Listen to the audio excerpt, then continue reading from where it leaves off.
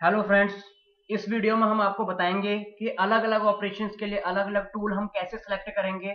जो हमारा प्रोग्रामिंग का सॉफ्टवेयर है, उसमें हम जो टूल सेलेक्ट करते हैं, वो कैसे करने हैं, आइए प्रोग्रामिंग का सॉफ्टवेयर ऑन कीजिए।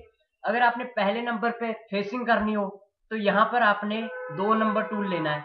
फेसिंग का टूल दो नंबर पे है। तो यहाँ पर हम लिखेंगे दो टाइप करके एंटर यहाँ पे दो नंबर अगर हमने टर्निंग करनी हो तो यहाँ पर हम एक टाइप करके एंटर कर देंगे।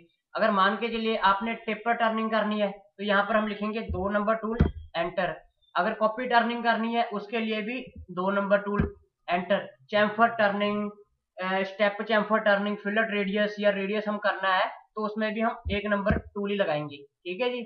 आगे अगर हमने ड्रिलिंग करनी है, मान के चलिए आपने ड्रिल मारना है कितने का? एक एम का. तो हम यहाँ से सिलेक्ट करेंगे, ये देखिए.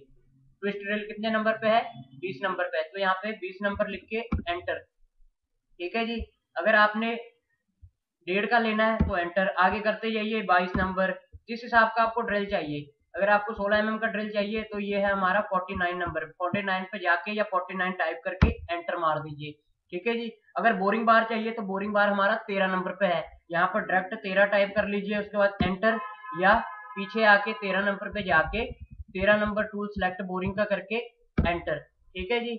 उसके बाद आगे अगर आपने ग्रूविंग करनी तो ग्रूविंग का टूल सेलेक्ट करने के लिए सात नंबर टाइप कीजिए, क्योंकि ग्रूविंग का टूल सात नंबर पर पड़ा है पार्टिंग ऑफ़ का टूल यहाँ पे सात टाइप करके एंटर मार दीजिए, या पीछे आके सात नंबर टूल सेलेक्ट कीजिए। यह है पार्टिंग ऑफ़ का टूल फिर एंटर तो आपका जो पहले नंबर पे है, वो सतवा नंबर टूल सिलेक्ट हो जाएगा। अगर आपने अंदर की ग्रूविंग करनी है तो उसके लिए भी ये सात नंबर टूल ही लगेगा। अगर हमने फेस ग्रूविंग करनी है तो फेस ग्रूविंग के लिए हमारा 20 नंबर टूल आएगा। फेस ग्रूविंग का टूल ट्विस्ट ड्रिल जो कि 20 नंबर पे पड़ा है। यहाँ पे 20 नंबर पे जाके आप एंटर मारेंगे तो ये हमारा ग्रूविंग का टूल फेस ग्रूविंग का टूल आ जाएगा। ठीक है जी? उसके बाद आगे अगर हमने बाहर की तरफ़ थ्रेडिंग करनी है तो हम कौन सा टूल लेंगे? पाँच नंबर ये देखिए, पाँच नंबर पर टूल पड़ा है ओडी ओडी का मतलब आउटर डाया बाहर की तरफ़ कर रहे हैं, उसको हम बोलते हैं ओडी थ्रेड डालनी है इसमें। यहाँ पे आप 1.75 से लेके 3 एम तक की पिच डाल सकते हैं। एंटर मारिए, आपके पास थ्रेडिंग का टूल आ जाएगा। अगर आपने अंदर की तरफ़ थ्रेडिंग करनी है, उसके लिए कौन सा टूल लेंगे? वो 18 नंबर पे पड़ा है। 18 नंबर पे जाके एंटर मार दीजिए। ठीक है जी? ये होगी हमारी सारी टूल सिलेक्शन कौन कौन सा टूल आपने कैसे सिलेक्ट करना है? अभी हम आपको एक इसका एक डिटेल बता देते हैं। एक एक्सेल की फ़ाइल दिखा देते हैं आपको। ये देखिए।